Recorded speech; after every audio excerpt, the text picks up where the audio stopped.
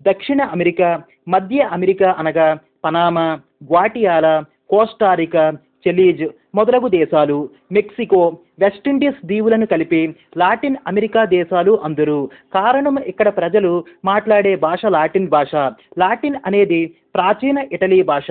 దక్షిణ అమెరికా ఖండాన్ని అన్నియు అతిగా గల ఖండమని పిలుస్తారు. ఒక పొడవైన దేశము చిలీ దేశం ఇక్కడ కలదు. ఒక పొడవైన నది అమెజాను నది ఇక్కడ కలదు. పొడవైన పర్వతాలు ఆంటీస్ పర్వతాలు ఇక్కడ కలవు. కావుననే అతి ఖండమని పిలుస్తారు. త్రిభుజాకారము గల ఖండం ఇది పక్షి ఆకు ఆకారంలో ఉన్న ఖండమని పిలుస్తారు. ప్రపంచంలో ప్రముఖ అంతరిక్ష కేంద్రమైన ఫ్రెంచ్ గయానో కౌర్ ఈ ఖండములోనే ఉంది.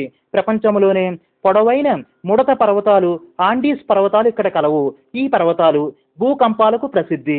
ప్రపంచంలో ఎత్తైన అగ్ని పర్వత సరస్సు కిటికా సరస్సు ఇక్కడ కలదు. ప్రపంచంలో ఎత్తైన జలపాతం ఏంజిల్స్ జలపాతం ఇక్కడ వెనీజులా దేశంలో కరోనీ నదిపై కలదు. ప్రపంచంలో పెద్దదైన అమెజాన్ నది భూమధ్య రేఖా ప్రాంతము గుండా ప్రవహించి అట్లాంటిక్ మహాసముద్రంలో కలుస్తుంది. వ్యవసాయంతో పాటు పశు పోషణ కూడా అత్యంత ప్రాముఖ్యత కలదు. బ్రెజిల్ అనే దేశం కాఫీ ఉత్పత్తికి రబ్బర్ ఉత్పత్తికి ప్రసిద్ధి. ప్రపంచంలో మాంసపు పరిశ్రమకు ఎగుమతులకి ప్రసిద్ధి చెందిన దేశము అర్జెంటీనా.